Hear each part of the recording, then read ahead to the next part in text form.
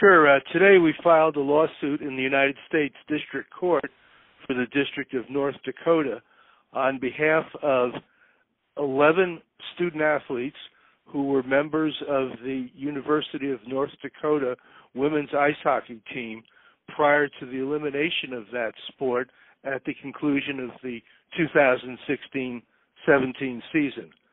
Our claim in the lawsuit is that the university violated its obligations under Title IX um, to provide equal athletic opportunities to young women as compared with men when it canceled its very successful ice hockey program.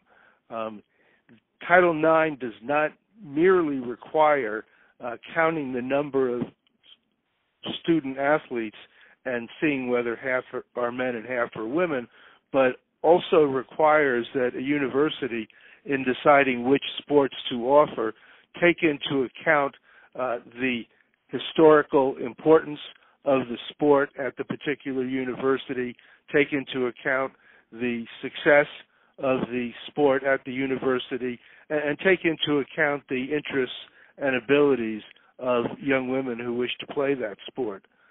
In this so case, go ahead. In this, in effect, I mean, is it kind of uh, they're looking for damages for uh, women who signed up to play hockey at UND? They show up there, and then the uh, sport is cut. Well, I mean, that is certainly a factor which, if this lawsuit allowed us to seek damages, uh, we would.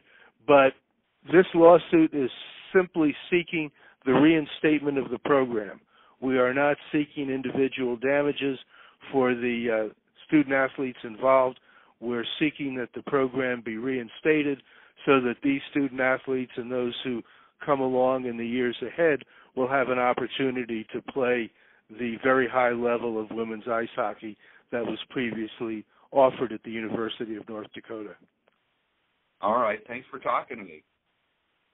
Very good.